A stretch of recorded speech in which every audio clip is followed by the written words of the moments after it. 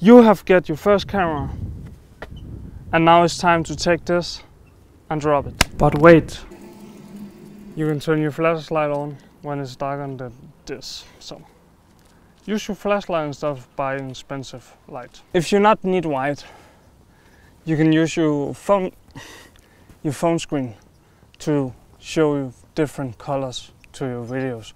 Oh, as a prop. And in this combination of moving pictures, we'll talk about sound.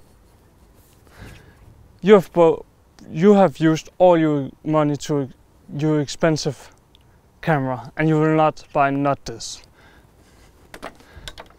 So use your phone instead of buying cheap microphones.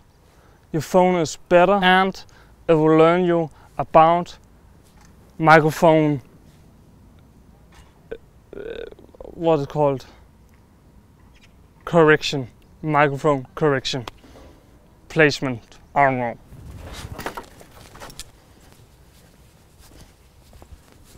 But stop. You're not finished with use your phone.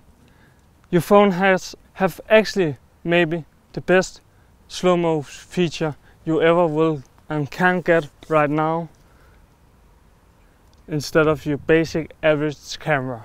So use your phone to slow-mo and you can use your phone as a B camera because you have not money enough to do. Yes.